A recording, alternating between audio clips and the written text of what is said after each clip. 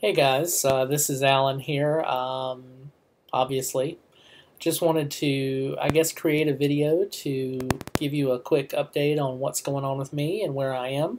Um, for some of you, it's been a while that I've been in touch, or maybe just through circumstances have lost a little bit of contact. But anyway, just want to give you a quick update. I am now living in uh, a little town called Neptune Beach, Florida, and working uh, in Jacksonville.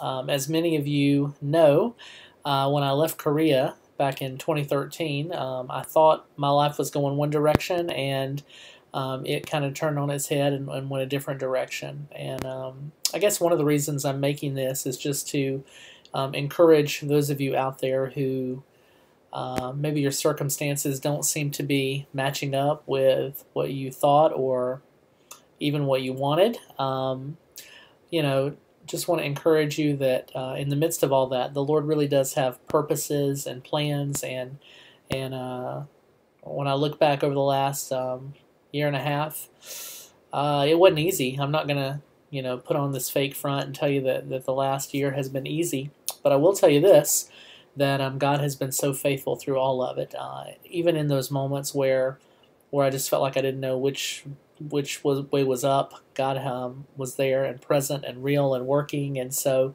um, I'm so grateful over the last year to have been able to continue uh, with the music ministry, and the Lord opened uh, many uh, new doors for ministry. Um, I'm so grateful for that. So if you're one of the pastors or churches that um, invited me to come in and share uh, in, in 2014 um, or 2013, thank you so much. Um, that has been a tremendous, tremendous blessing. And so I'm, I'm excited for um, even more opportunities that the Lord may give me in the future for that. But thank you. Thank you so much for those invitations. And I hope uh, we can do that again sometime real soon. Um, yeah, so anyway, I'm, uh, I'm living in Neptune Beach. I'm working uh, at a school called Providence School. Um, it's a school located in Jacksonville, Florida and I'm teaching uh, Bible there to juniors and seniors, which was quite a change because I had been working with middle school for quite a long time in Korea, and to make the leap from focusing on middle schoolers to working with kids who are just about to graduate high school, that was quite a, a, a different, well, it's just a different thing and uh, and so I'm having to relearn some things as I go. Um, in addition to that, um, I'm back working with American kids, which is is quite different. Um, after being with Koreans and international students for for about ten years. Um, God is good. I'm grateful every day for the opportunity I have to minister here. Um, really enjoying what God's opened the door for me to do. So yeah, appreciate your prayers and your support.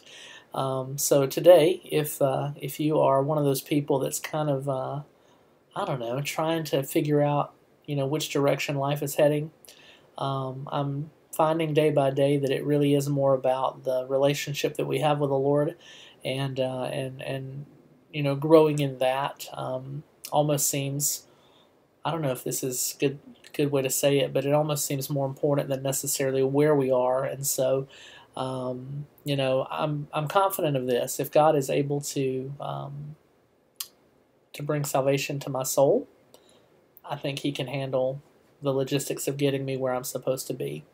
So uh, anyway, I'm grateful. I'm thankful, and if anybody out there is kind of in that place, I just want to tell you that hang on.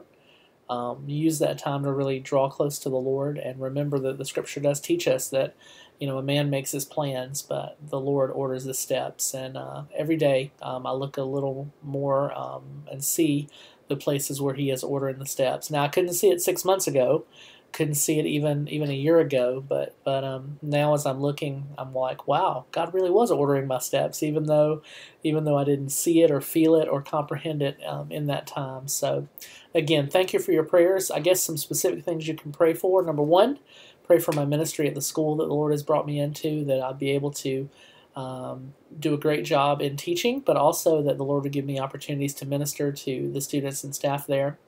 Um, secondly, would appreciate your continued prayers for my music ministry. That as the Lord opens the door, I'd be able to use, um, you know, that those opportunities in a way that will honor Him and, and are empowered by Him.